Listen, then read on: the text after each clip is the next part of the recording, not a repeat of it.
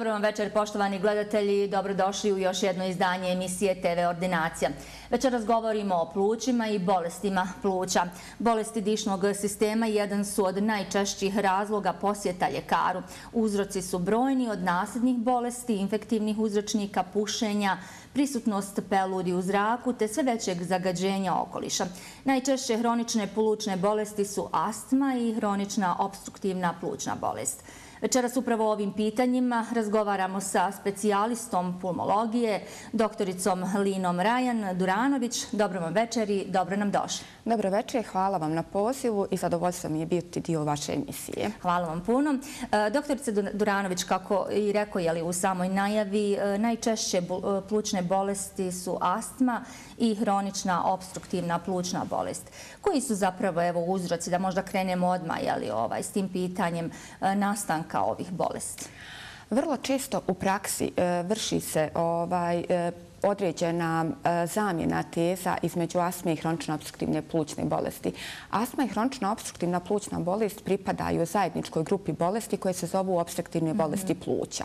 Ono što je značajno razlikovati jeste da astma uobičajeno ima genetsku podlogu i ona je vezana za inflamaciju i javlja se u ranom djetinstvu. Mhm. Hronična obstruktivna plućna bolest vezana je za djelovanje štetnih čimbenika tipa mhm. e, zagađenja zagađen zrak, pušenje, izloženost raznim e, štetnim noksama, hemikalije, okruženje i tako dalje. Mhm.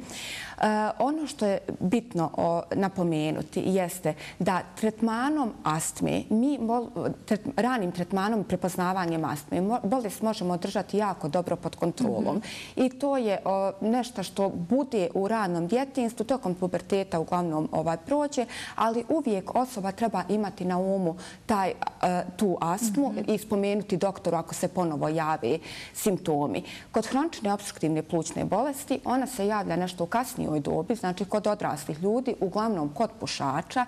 I nažalost tokom vremena ona postaje e, irreverzibilna, odnosno na nju više ne možemo djelovati da se spriječi, mhm. nego progredira tokom vremena. Tako da to je bitna razlika. Znači, astma je nešto na što ne možemo uticati. Ako imamo urođenu mhm. sklonost ka astmi, to je to. Ali kod hronične obstruktivne plućne bolesti možemo. Možemo je spriječiti.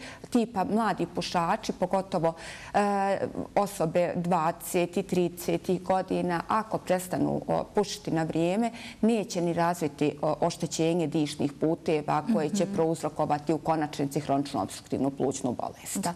E, kronična obstrukcijska plućna bolest e, je termin koji se uglavnom odnosi e, na povezane poremećaje koji bolesniku postepeno oduzimaju dah. Možete li nam, doktorice, evo zapravo približiti, jasnije dati zapravo sliku ovaj, šta to znači? Jedan tipičan bolesnik koji boluje od hronične obstruktivne plućne bolesti vam je, na primjer, čovjek od cirka nekih 50-60 godina, mhm. dugogodišnji strastveni pušač. Bolest počinje obično sa kašljem. Međutim, kako je pacijent pušač, on tako i ignoriše taj simptom. Vremenom se e, saživljava sa tim kašljem, e, navikava se na njega, a kašalj postaje intenzivniji i bude uglavnom produktivan. I kaže se, pušim, citiram pacijente, pušim od cigara. E, ono što se dešava u hroničnoj obstruktivnoj plućnoj bolesti jeste da ovaj, u početku znači, imamo e, to stvaranje šlijezda koje e, produkuju sluz i zato imamo šlajm u kašlju. Mhm. Tokom vremena te žlijezde sve se više stvaraju i dišni putevi bivaju sve više začepljeni, mhm. odnosno ograničeni. Imamo smanjen protok zraka zato što se smanjuje prečnik dišnog puta.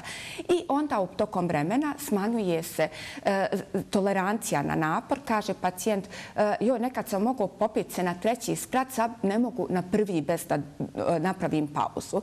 I kako vremenom nastavlja, ovaj, kako bolest ide progresivnim mhm. tokom, tako tolerancija na napor i po ravnom postaje smanjena. Mhm. Nažalost, naši pacijenti, baš glavno što smo mi pušačka populacija e, vrlo često ne prepoznaju na vrijeme, ne reaguju kad krene sami kašalj, nego puste to vrijeme ovaj, uzme, javljaju se već u kasnijoj nekoj e, fazi gdje već moramo djelovati sa e, pumpicama, odnosno lijekovima ovaj, za terapiju. Mhm.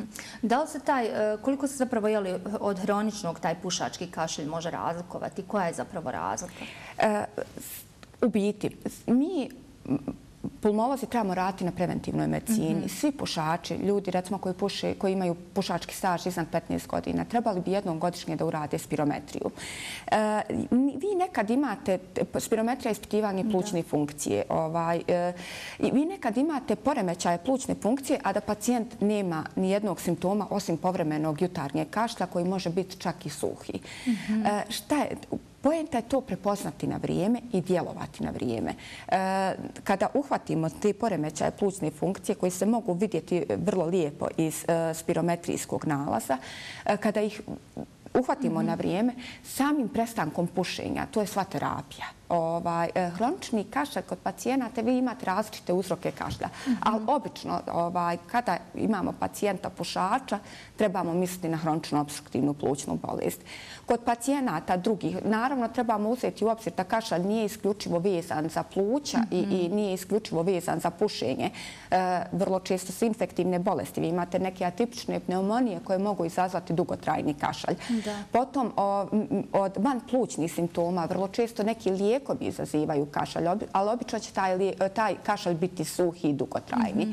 Naravno, vi imate kašalj koji je vezan za alergije, koji se obično javlja u ranim jutarnjim časovima ili kasnim večernjim. I on je također suhi i, i, i iritabilan. E, ono što je važno, vrlo često naši pacijenti zaboravljaju da od želuca se također može kašljati. E, postoji stanje koje se zove hijatalna hernija, gdje dio želuca, kad se čovjek recimo prede, prođe ovaj, kroz dijafragmu, mhm. dođe u prostor ovaj, toraksa gdje, gdje su smještena pluća i srce. I iritacijom na pluća izaziva kašalj, iritacijom na srce mogu se javiti aritmije. Tako da e, e, mi ljekari griješimo kada isključivo kašalj povezujemo sa plućima. E, uvijek, naravno, osim toga trebamo razmišljati o gornjim dišnim putevima, razni rinosinositisi, mm -hmm. paringitisi, sve to može dovesti do kašlja. Mm -hmm. Tako da osnova diferenciranja kašlja je u, dobro uzeta anamneza. Da. E, upravo rani ti znakovi jeli, bolesti pluća se često i zanemaruju, a njihovim prepoznavanjem se zapravo može spriječiti sam razvoj težih stanja, e, dakle, ovaj, simptoma zbog koji se u stvari treba javiti ljekaru. U jednom dijelu ste malo prije spomenuli ovaj, e, i taj alergijski kašalj. E, vrijeme nam je alergija svakako. E, ono što mene zanima, da li alergija može biti urođena ili se može steći dakle, u određenim godinama ili kako zapravo to funkcioniše? Alergija je stanje organizma gdje naše tijelo burno reaguje na određene e, tvari iz životne sredine. E, naše tijelo bi generalno trebalo da reaguje nekim određenom stvaranjem određenih količina antitijela da ne izazove burne reakcije. Kod mhm. alergičara vi imate urođenu pretjeranu sklonost ka ovaj, burnim reakcijama na te određene tvari iz mhm. životne sredine. Tako u najvećem broju slučajeva alergije jesu urođene. Mhm. Međutim, tokom vremena one se mogu isteći. Tako da e, ćete vrlo često sresti e, čovjeka koji kaže ja nikad u životu nisam imao nikakve alergije, ali sad sam počeo odjednom da kišem. I ono što sam ja primijetila iz prakse, čisto da napomenem da od kako nam je bila korona, e, povećan je broj pacijenata sa novostečenim alergijama u odrasloj životnoj dobi. Tako da tokom života postoje te neke određene stvari koje se dešavaju, koje mijenjaju naš imunološki odgovor i zbog kojih reagujemo sa alergijama. Da, i upravo simptomi alergija su zapravo evo i kašalj, ali između ostalog je kihanje, curenje nosa. Da, da. E, uvijek moramo voditi računa jednu stvar, da, kod alergija. E, javljaju se u sezoni polenizacije. Znači, sad je vrijeme cvjetanja, trava, drveća i tako dalje. Kod alergija, znači, može se javiti na gornjim dišnim putevima tipa sekrecija iz nosa, koja je obično bistra. Može se javiti curenje iz očiju, suzenje očiju. Kod kašlja obično je to suhi kašalj i kašalj je obično intenzivan u kasnim večernjim satima i ranim jutarnjim zato što je tada najintenzivnije otpuštanje polena u prirodi. E, za razliku od infekcije, alergija nikad nije praćena sa povišenom tjelesnom temperaturom. E, također, kada imamo tipa e, sekreciju koja je obojena, prebojena, tipa pacijent kaže izlazim, imam sekret iz nosa koji je zelenkaste boje, to nam sugerše na bakterijsku superinfekciju, mhm. jer to znači sve što nije e, providno, to znači bakterijska infekcija. Mhm. Eto, još smo nešto novo naučili u ovoj našoj TV ordinaciji. E, pluća su zapravo evo, najveći dio jeli, dišnog sistema. E, sam dišni sistem počinje nosom i ustima. E, koji su zapravo najčešći evo, simptomi bolesti pluća i koje pretrage zapravo ljekar može ovaj, uraditi kod pacijenta? Najčešći simptomi bolesti pluća nezaobilazan kašalj. To nam je mhm. nekako prva, prva varijanta ovaj, simptoma. E, kašalj može biti suhi i produktivan, mhm. e, može biti periodičan, može biti konstantan. E, potom, osim kašlja, javlja se i otežano disanje, odnosno zaduha.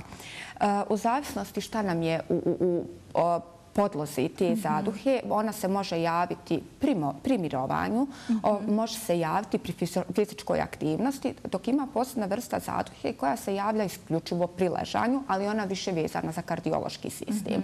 Osim zaduhe, vezano za pluća, imamo osjećaj sviranja i pištanja u grudima. Mhm. E, to je karakteristika bronhitisa. Ono što sam malo prije spomenula, kada se stvara e, povećana koncentracija sluzi, ovaj, kada se sužava lumen dišnog puta, e, imamo taj osjećaj sviranja i pištanja u grudima koji nekad može biti čujan i golim uhom mhm. bez stetoskopa. Potom, osim ovih nekih uobičajenih simptoma za respiratorni sistem, mogu se javiti i opšti simptomi tipa e, protrahirana febrilnost, odnosno povišena tjelesna temperatura. Nama, plućnim e, ljekarima, je vrlo značajna temperatura koja je E, dugotrajna, javlja se u večernjim satima, ovaj, nije pretjerano povišena, 37,5 otprilike do nekih 38. E, praćena je preznojavanjem, ona nam obično može sugerisati, ne nužno, ali nam može sugerisati tuberkulozu kao infektivno oboljenje. Također i druge infektivne bolesti pluća ovaj, idu sa povišenom temperaturom. Sada ta temperatura može varirati čak i do 40 stepeni, od nekih 37 do 40, zavisno od toga ovaj, šta nam je u podlozi. Da, među najčešćim simptomima dišnih e, bolesti spadaju zapravo, spomenuli smo malo prije kašalj, e, upravo ova nestašica daha ili zadaha, e, bol u prsima. Da, apsolutno. Kada pričamo o boli u prsima, moram uvijek razmišljati o srcu, i o plućima. Mhm. E, kako ćemo razkovati, ne postoji neka pretjerana, da kažemo, ako te boli sa lijeve strane grudnog koša, širi se prema vilci lijevoj ruci, to je isključivo kardijalna bol, ne, ne znači to. Mhm. E, plućna, ovaj, e, u biti pluća nikad ne boli. Mhm. Šta boli u plućima? U plućima boli plućna maramca koja je jako dobro inervisana i kada je ona zahvaćena nečim, onda se javlja bol. Plućna maram e, nekada se može desiti kod određenih oboljenja vaskularnih struktura pluća tipa plućne tromboembolije, da se bol javlja zbog hipoksije, odnosno nedostatka zraka. E, otpuštaju se određene e, substance u krv koje izazivaju bol. To je druga mhm. vrsta boli, vrlo je slična anginoznoj boli, odnosno kardiološkoj boli. Kada imamo neku tipa tupu bol koja traje u plućima, odnosno u grudnom košu, ona nam je obično, može biti tupa ili oštra, ona obično nam je znak zahvaćenosti plućne maramice. Plućna maramca može biti zahvaćena kod nekih bolesti, ali može biti zahvaćena i perfirno kod tih nekih tromboembolijskih događaja. E, nadalje, ovaj, e, ono što je možda najznačajnije i najčešće, a svi se bojimo boli u grudima, jeste da bol u grudima se može javiti i od bolesti kičme. To je mhm. bolest ovaj, muskuloskeletnog sistema. Jednostavno zbog eh, našeg savremenog načina života gdje stalno sjedimo pri računarima, eh, za stolovima. Vrlo često imamo stečene deformitete kičme koji uzrokuju da određeni nervi budu priklješteni i samim tim ovaj, to se manifestuje sa određenom boli. I ta mhm. bol obično prolazi na djelovanje lijekova za bolove. Mhm. Ono što mi još zanima, doktorice, dakle, svi znamo znamo jeli, ovaj, koliko je pušenje zapravo jeli, štetno za naša pluća i to smo nekako i na početku ovaj, i čak i spomenuli i zdravlje općenito, ali e, ništa manje štetno nije zapravo ni zagađenje zraka koje imamo pogotovo u kantonu Sarajevo, odnosno u glavnom gradu Sarajevo, jeli, ovaj, e, koje stvarajte kakve zdravstvene probleme i tegobe kod pacijenata. E, ono što mene sada zanima jeste da nam kažete zapravo koja je to populacija onako najugroženija? Nažalost, kanton Sarajevo pokoćen je zagađenim zrakom tokom cijele godine. Znači, ne trebamo mi zanemariti što ne vidimo smog mhm. tokom ljetnog perioda da njega nema. Najčešće je pokoćena vulnerabilna populacija, a to su djeca, mhm. trudnice i stariji pacijenti sa povećanim komorbiditetima, sa većim brojem komorbiditeta, recimo kardiovaskularne bolesti, mhm. neurološke bolesti i tako dalje. Značajno je napomenuti da djeca od malih nogu, znači vrlo često ovaj zagađeni zrak, djeluje na djecu da ovaj, se stvori oštećenje epitela na dišnim putevima. Istog razloga djeca imaju određene obstruktivne bolesti pluća, vrlo često koje završavaju astmom i zato je sve krivo zagađenje zraka koji je ovdje vrlo intenzivno. A može li, odnosno jesu li pušači na neki način izloženi toj virusnoj infekciji? E, pa znate kako, virus, odnosno e, pušači, e, kod njih dim cigarete djeluje na taj način što štećuje epitel. Odnosno, naš epitel dišnog sistema ima sitne dlačice koje su nevidljive golim okom i koje mhm. djeluju na taj način da izbacuju štetne tvari iz našeg dišnog puta. Dim cigarete lajčki rečeno spaljuje te dlačice. I onda naš epitel ovaj, je ogoljen i postaje podložan djelovanju e, raznih virusa i bakterija. I u tom kontekstu da pušači jesu izloženi virusnim infekcijama. Ali neće mhm. samo zato što su pušači, neće virus ovaj, e, djelovati štetno na njih, nego, e, nego će djelovati zbog oštećenog epitela. A kod zdravih osoba kako stanje zapravo izaziva upravo ovaj zagađen zrak i da li on zapravo kod zdravih osoba može razviti taj virus? E, nažalost, zagađen zrak može ovaj, također djelovati isto kao i pušenje. To je da šteti naš epitel. Pogotovo i mi imate pacijente koji su, što smo rekli, skloni određenim oboljenjima, tipa i već imaju hronične mhm. oboljenja. Njihovo tijelo je iscrpljeno, imunitet je oslabljen. Kod njih će zagađen zrak napraviti veliku štetu, gotovo jednaku kao i dim cigareti. E, kod tih pacijenata će se desiti ista situacija kod pušača. Nažalost, ono što sam ja primijetila u kantonu Sarajevo u radu sa pacijentima, e, bez obzira e, bili pušači, ne bili ovaj, pacijenti, već imaju dobrim dijelom oštećenu plućnu funkciju i zato je najvećim dijelom kriv zagađen zrak. Mada to ne treba e, biti sad izgovor da se nastavi pušenje. Trebamo pomoći sami sebi koliko možemo. Naravno, naravno, ali evo nekako sad e, upravo mi dođe misao i dok je evo, u vrijeme korone ovaj, nekako su upravo ti pušači ovaj, bili glavni zagovornici toga da nisu dobili koronu zahvaljujući cigaretama? Da vam kažem, moje lično iskustvo iz korone i ovaj, e, izolatorija za liječenje ovaj, COVID-a bilo je pušača i bilo je nepušača, tako da korona generalno nije birala. E, to je samo puka sreća koja je bila. Bilo je neka priča povezana sa e, receptorima u plućima, ali vjerujte, definitivno su jednako ružne kliničke slike bile i kod pušača i kod nepušača, tako da niko nije bio poštićen. Nažalost, ali eto, hvala Bogu, sada je ta korona valjda iza nas. Još uvijek je ima, vjerujte, ima je. E, hvala Bogu, javlja se kao obična viroza, mhm. praćena znači on bolovima u zglobovima, e, sekrecijom iz nosa, nekim blagim kašom, ali e, nema više upala pluća kao što su nekad bile. Da, hvala Bogu. Koji su to zapravo, doktorice, evo simptomi upale pluća na koje odmah trebamo zapravo reagirati? Što se tiče upale pluća, znači imamo e, različite upale pluća koje sad nećemo pretjerano ulaziti u diagnostiku. Znači, ali bilo koja povišena tjelesna mhm. temperatura koja je praćena sa kašljem, treba biti alarm.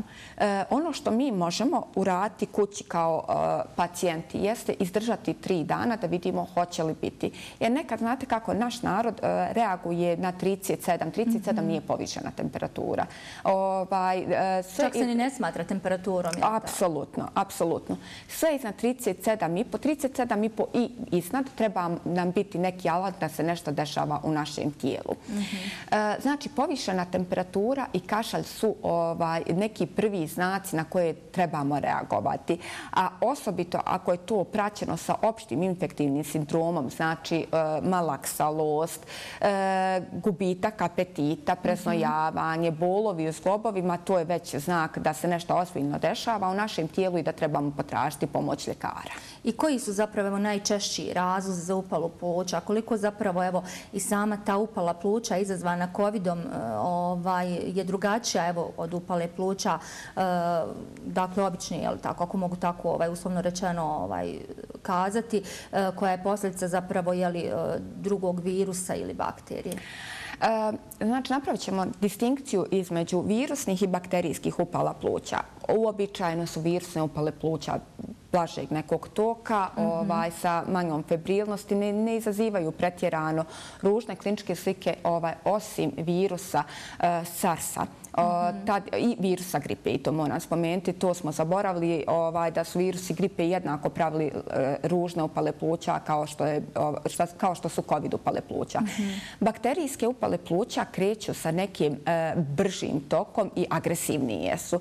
Vi odmah imate znači, jaki skok temperature, kašalj koji je uglavnom produktivan, odnosno iskašljavate, to bude u boji. E, vrlo često bude praćeno sa sukrvičastim mhm. iskašljajem i e, praćeno opštim sindromima. E, kod virusnih upala pluća, osobito kod SARS-CoV-2 infekcije, mi smo imali tu e, takozvanu intersticijsku upalu pluća. E, kada govorimo, sad moramo malo ući dublje u pulmologiju. Kada pričamo o građi pluća, imamo, znači, pluća su građena od citnih alveola koji su kao e, mjehurići obloženi sa tankim epitelom. Između tih mjehurića nalaze se pregradice i te pregradice se zovu intersticiji. E, najčešće bakterijska upala pluća zahvata alveole, znači te mihuriće mhm. zraka, a intersticijska upala pluća je ta koja zahvata te pregrade. Šta je pojenta? Na nivou tih pregrada vrši se razmjena kisika i CO2. I kada je zahvaćena kada je zahvaćen intersticij, vi imate debljanje, tu se stvaraju upalni elementi, stvara se voda. E, on zadebljava, onda nemate razmjenu kisika i i, i CO2. Naša naša krv je, postaje siromašna sa kiseonikom i zato je kod Uh, pacijenata sa COVID-om bila niska saturacija, pogotovo kad je to dugo trajalo. E, moram napomenuti da je COVID bio vrlo specifičan zato što smo e, gledali promjene iz bukvalno minute u minut. E, bilo je situacija da primite recimo pacijenta sa saturacijom 88 dok obavite vizitu u trajanju nekih 45 minuta tom pacijentu koji je na kiselničkoj potpori bio recimo 2 litra u minuti, pa saturacija pada na 70. Tako Tako da COVID je bio vrlo specifičan i tad je bila naša medicina i ne samo naša medicina, nego svjetska medicina na ispitu zrelosti. Da. Može li se upala pluća preboliti, hajmo reći, ali ovaj, na nogama? Može. U biti, to, to su vam ove atipične upale pluća koje izazivaju neke uh, ovaj, uh, nespecifične bakterije. Uh, ono što je ka karakteristično za njih, to su neke subfebrilnosti u večernjim satima, znači 37 sa 8, uh, dugo traje kašalj nek nekakav, ali nema, nemate vi onu fazu jake iscrpljenosti. Ljudi to dugo, dugo, dugo mhm. nose. I vrlo često dođu, dođe pacijent, na rentgenu se verificira mm -hmm. ovaj, upala pluća, uključi se antibiotik i to se sanira. Tako da su to neke, pod navodnicima, blaže forme upala pluća koje, pod, hajmo reći uslovno, kada, kada smo tvrdoglavi možemo preboliti na nogama. Doktorice, nastavit ćemo naš razgovor. Idemo kratko na marketing, ali prije toga želim zahvaliti sponzoru emisije TV Ordinacija, BH Telekomu, koja je omogućila, omogućila realizaciju ove emisije. BH Telekom je društveno odgovorna kompanija koja podržava projekte značajne za širu društvenu zajednicu poput kulture, filma, sporta i čovjekovog zdravlja uopće. Tako i ovog puta mi se zahvaljujemo kompaniji BH Telekom koja je omogućila realizaciju ove emisije, a mi i u budućnosti smo opredjeljeni kao televizija da u saradnji sa BH Telekomom dobre priče nastavljamo.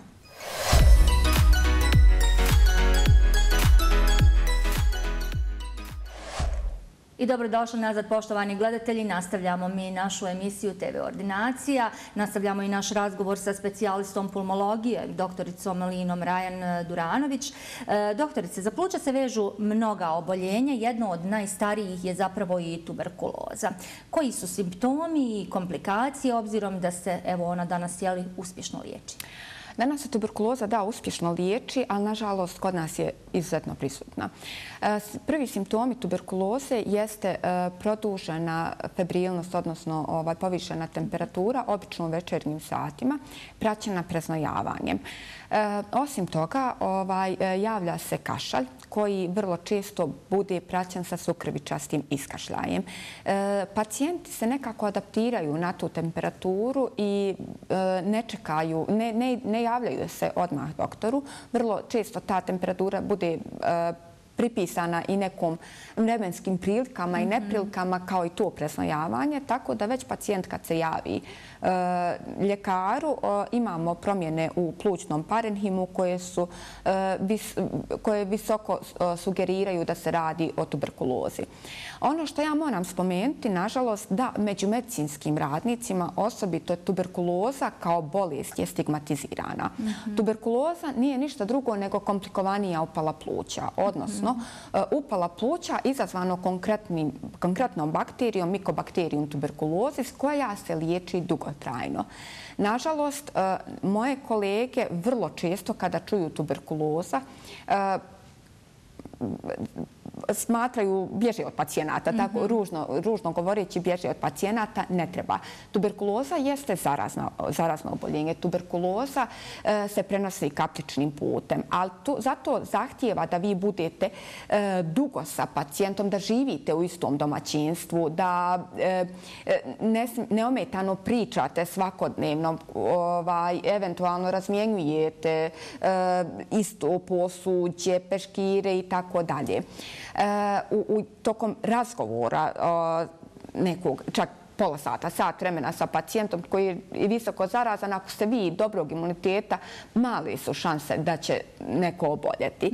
E, ono što ja moram napomenuti jeste da pacijenti kad se liječi od tuberkuloze, prva faza liječenja tuberkuloze biva na klinici za plućne bolesti i tuberkulozu. I u toj fazi su pacijenti zarazni. Ono što želim napomenuti da nisu svi pacijenti sa tuberkulozom zarazni. Znači, e, takozvani, kada se otkrije bacil tuberkuloze direktno mikroskopski u, u, u, u sputumu, tada je pacijent zarazan. Mhm. Ali kada se pacijent otkrije iz nekih drugih tekućina e, našeg tijela, taj pacijent nije zarazan. Tako da, nažalost, tuberkuloza vrlo se uspješno liječi. Postoji ATL terapija e, koja već desetljećima je ista šema liječenje tuberkuloze i, i vrlo, vrlo uspješno.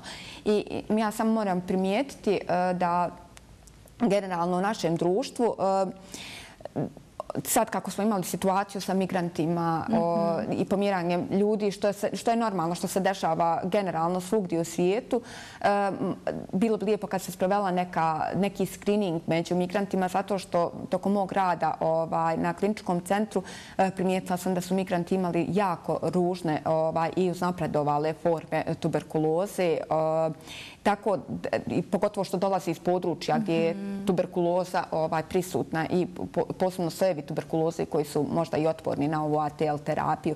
Tako da u biti moramo biti svjesni da je tuberkuloza prisutna u našem društvu, ali ne trebamo bježati. Ovaj, tako da jednostavno, e, kao i svako drugo oboljenje. Da, koje se uspješno liječi, koje se Apsolutno, koje se uspješno liječi i raditi na skriningu. Mladi ljudi bi trebali generalno da izbjegavaju nargile. E, to je ono što sam ja primijetila kroz moju praksu, jer e, nargile vrlo često e, voda se ne mijenja, crijeva se ne mijenjaju, ne peru se i bivaju izvorom zaraze. Tako da i više tuberkuloza nije bolest siromašnih ljudi, da se razumijemo. Znači, Znači, vidjet ćete pacijente oboljile od tuberkuloze u svim statusima. E, najbitnije je da je to prepoznati na vrijeme i liječiti. I to stvarno uspješno izliječi. Znači, prvi mjesec dana tuberkuloze, prvih mjesec, dva dana je ključan za liječenje tuberkuloze. Ostalo je e, tretman da se tuberkuloza ne bi vratila. Da, i to su terapije koje će pacijenti uzimati ovaj, možda dugoročno. Pa nekih šest mjeseci otprilike, šest, osam traje liječenje tuberkuloze, ali redovno treba, jeste naporno zato što se koriste otprilike četiri antibiotika, znate, i četiri tablete koje nisu baš ni malo mali. Mhm. Više to predstavlja, ali čovjek ako to shvati da to mora, jednostavno, radi njegovog dobra, to to bude sasvim u redu. Tako, a što se mora nije teško. Upravo, upravo. E, osim, dakle, evo tuberkuloze, doktorice, e, imamo tu i, e, dakle, ovaj, alergijski rinitis, imamo astme. Astma je zapravo najčešća hronična bolest dječije dobi, tako možemo reći. Tako. Pa hajmo malo, eto, ovaj, i to spomenuti, dakle, malo da ne zapostavljamo ni djecu puno. Kako i na koji način prepoznati astmu kod djece, kako i na koji način zapravo im pomoć i kakav je proces liječenja? U biti, što se tiče djece, e, djeca su vrlo specifična. Znači, od malih nogu, kada vidite da djete ima potrebe za inhalacijama, e, kada djete puno kašlje, ima potrebe za inhalacijama, to treba da sugerše da se nešto ovaj, dešava na nivou mhm. dišnog puta. Mi uvijek moramo voditi računa o tome da se dišni e, putevi razvijaju do osme godine otprilike. Tako da je to prilično kod djece e, neuobičajeno, ne samo mi da li će djete razviti tokom života astmu ili neće, ali ovaj, e, taj signal kada ima potreba za inhalacijama treba da nam bude e, uvijek važan podsjetnik da djete možda ima sklonost. U biti, u dječjoj dobi, e, osim tih e, potrebe za inhalacijama zbog čestih bronhitisa, e, djeca vrlo mogu često imati promjene na koži. Ovaj, to vam je takozvani atopijski dermatitis, kao ovaj, crveni pečat i tu. Kada vidite da dijete alergično na neku vrstu hrane, ne samo ovi poleni i ostalo, na vrstu hrane i to treba da vam bude alarm za eventualno razvijanje astme u odrasloj dobi. Mhm. Šta je pojenta kod djeci? E, to bi kolege pedijatri pulmolozi puno bolje znali od mene, ali eto, mislim, ja kao adultni pulmolog mogu samo dati neko svoje mišljenje. Mala djeca nisu mogućnosti da urade spirometriju. Mhm. Spirometrija je ključna u dokazivanju astme. To je test ispitivanja plućnih funkcija, gdje osoba izvodi ovaj, diše po uputama sestre ili ljekara i onda se dokaže obstrukcija. Uh, daje se salbutamol inhalacijono i onda ovaj, kroz 15 minuta ponovo se radi spirometrija i te obstrukcije više nema. Tad smo 95% sigurni da se radi o astmi, posebno kad je mlađa populacija u pitanju. Djeca ne mogu vrati spirometri, pogotovo djeca od 3-4 godine jednostavno ne sarađuju. E, u tom kontekstu mi e, izlačimo neke zaključke e, indirektne da bi to nešto moglo voditi ka astmi. Ono što je ključno jeste da roditelji trebaju osuškivati svoje dijete, mhm. osuškivati njegovo disanje. Ako dijete ako se čuje to disanje, tu, tu ima bronhitisa. To može biti trenutni neki bronhitis od viroze, mm. može biti neka i bakterija, ali ako se to stalno ponavlja, ako dijete stalno je bolesno, pogotovo respiratorni ti virusi od, od, kod djece, onda trebamo imati i, i taj uh, aspekt na umu. I ono što je dobro jeste da kod većine djece uh, ta astma iščesne tokom, tokom puberteta. Mm -hmm. Znači, o, kasnije vi dokažete, ne znam, astmu kad dijete bude malo starije, bude moglo raditi spinometriju, dokažete astmu, uključi se adekvatna terapija, mada se terapija može uključiti na osnovu ti nekih sugestija. Sama inhalacija jeste vrsta terapije gdje se daju kortikosteroidi ovaj, da bi se smanjila upala mm -hmm. u, u, u dišnim putevima. E, na, na, kad već uključimo, onda samo trebamo pratiti tu djecu. Tokom vremena jednostavno to spontano prođe. Možda će se javiti nekad u životu, možda se neće javiti nikad. Da. Ali treba to uvijek imati u vidu. Da, ali vrlo se često ne može, može miješati, ali obzirom da imamo jeli, te alergije ovaj, i taj napad kašlja i disanje otežano i u toku same alergije. Pa kako razlikovati? E, eto, e, upravo, kako ste spomenuli, u dječjoj dobi je astma vezana za alergiju najčešće. Mhm. Tako da to vam je preklapa se. Jedno, jedno vodi ka drugom i, i, i tako. Ne mora značiti da će to biti Ne mora značiti. Ne, ne, ne mora značiti. Ovaj, e, djete, ako bude razvilo otežano disanje, bude čujno, mm -hmm. čujan taj bronhitis, o, da, može biti. Ali opet vam kažem, to, to se tokom vremena vrlo često spontano sanira. Da. Tako da, ova, ali e, u, u vrijeme alergije djeca reaguju, pogotovo djeca sa, koja, sa sklonošću ka alergijama, reaguju tim e, bronhitisima, tako da to je neki alergijski sindrom koji može biti e, povezan i u konačnici sa astmom. Da. E, koje su to zapravo evo, respiratorne infekcije kod bolesnika sa astmom i kako se može zapravo izbjeći sam taj napad je li ovaj, kako se to kaže ovaj, u medicinski ispravno možda, e, kašlja kod astme i kako zapravo na neki način evo i ublažiti sam taj kašalj? Što se tiče astme generalno kao bolesti, e, to je znači, rekli smo, bolest koja najčešće se javlja u ranom djetinstvu i niko bolje neće znati tu svoju bolest od samog pacijenta. Tako da će tokom vremena pacijent naučiti šta ga dovodi, šta ga iritira, šta izaziva kašalj, šta izaziva otežano disanje. Mhm. Astmatičari, znači najčešće pogoršanja astme se javljaju sa virusnim infekcijama.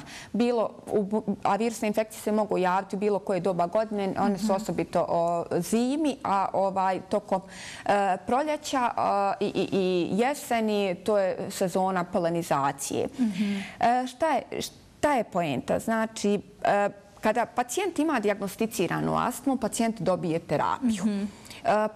Pojenta je da pacijent redovno koristi terapiju. U osnovi astma se liječi inhalatornim kortikosteroidima, jer na nivou dišnih puteva ti kortikosteroidi dolaze ovaj, i djeluju tačno, tačno tamo gdje treba, mm -hmm. smanjuju tu upalu, ne sistemsku, nego smanjuju upalu u dišnom putu, smanjuje se broj ćelija koje, o, i žlijezda koje luče sluz, smanjuje, drže se pod kontrolom glatki mišići dišnih puteva, mm -hmm. ne dolazi do njihove hiperplazije, odnosno umnožavanja, da dolazi ovaj, do, do smanjenja lumena dišnog puta. Pojenta je redovno koristiti terapiju. Mhm. Nekada pacijenti budu i dobri i nemaju potrebe za terapijom. Ali u tom moraju biti uvijek na oprezu i uvijek sa sobom imati svoju terapiju da osluškuju tijelo. I na prvu pojavu, kada vam se već 3-4 dana javlja suhi kaštalj, to već treba pacijentu koji boluje, koji zna da boluje da smije da bude signal da se dešava i da, kre, da se vraća i da počne ponovo uzimati terapiju. Mm -hmm. E, astma je generalno u, u našoj populaciji jako dobro kontrolisana bolest. Nažalost, mi imamo pacijente koji su teško kontrolisani, koji su kontinuirano na visokim dozama kortiko, inhalatornih kortikosteroida, čak i na oralnim kortikosteroidima koje mi generalno mhm izbjegavamo zbog sistemskog efekta, a se e, teško drži pod kontrolom. E, nažalost, kod nas u, u kantonu Sarajeva biološka terapija za astmu nije dostupna, što bi uveliko pomoglo tim pacijentima.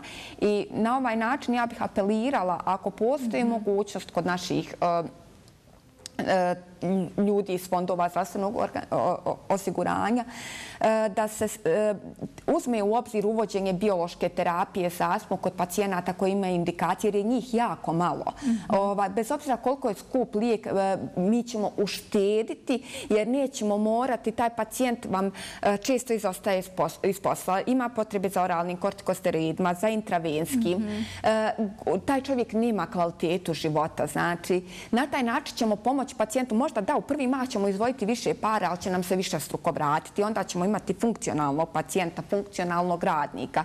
Čovjeka koji više neće imati potrebu da izostaje s posla, neće imati potrebu za silnim lijekovima i na taj način dugoročno ćemo uštijeti. Tako da bilo bi... A i pomoći mu zdravstveno. Apsolutno, što je na prvom mjestu. Tako da bilo divno kad bi naši imali sluha da se uvede biološka terapija za astmu na listu pacijentima kod kojih je indicirana. Da, i generalno biološka terapija, dakle za određene bolesti ovaj, e, bi znatno pomogla i poboljšala ne samo naš ovaj, zdravstveni sistem, nego i kvalitetu čovjekovog zdravlja ovaj, uopšte. E, pored astme, tu je i bronhitis, nekako, ovaj, bar ja to tako uvijek vežem jedno uz drugo, ovaj, koji su zapravo najčešći uzroci nastanka bronhitisa, e, kako njega prepoznati i kako ga liječiti? Kada govorimo o bronhitisu, trebamo razkovati hronični i akutni mhm. bronhitis. Akutni bronhitis je neko stanje koje traje otprilike do tri sedmice. Nakon tri već to poprima ovaj, formu hroniciteta. E, kada imate, recimo, e, pacijenta koji e, od akutnog bronhitisa mogu oboljeti pacijenti koji su pušači. Hronični se mhm. obično vezuje za pušače. U akutnom bronhitisu najčešće se uzročnici su virusi i bakterije. Mhm.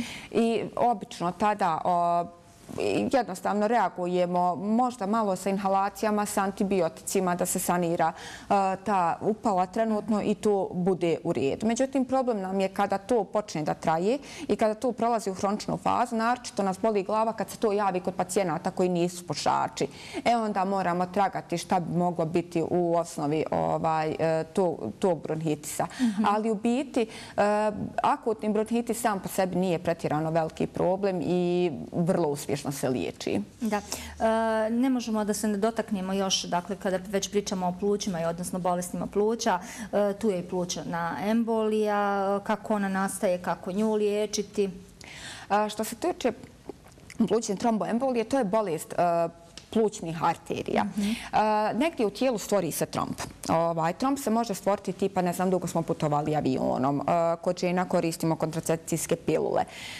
Kod ljudi tipa koji imaju mhm. malignitet, to su ljudi koji su skloni ovaj, e, skrušavanju krvi. Mhm. Kod pacijenata koji su imali svježu operaciju, kod pacijenata koji su nedavno imali lompas, imali e, gips ruke, noge, nije bitno. Znači, stvori se taj tromb i on putuje krvnim sudovima, dođe do ovaj, vena, odnosno arterija u plućima i zapni, lajčki rečeno. To je u biti zavisnosti od stepena veličine tromba i gdje se zaustavio. Ovaj, e, plućna tromboembolija može biti izuzetno životno ugrožavajuće stanje. Znači, šta se dešava?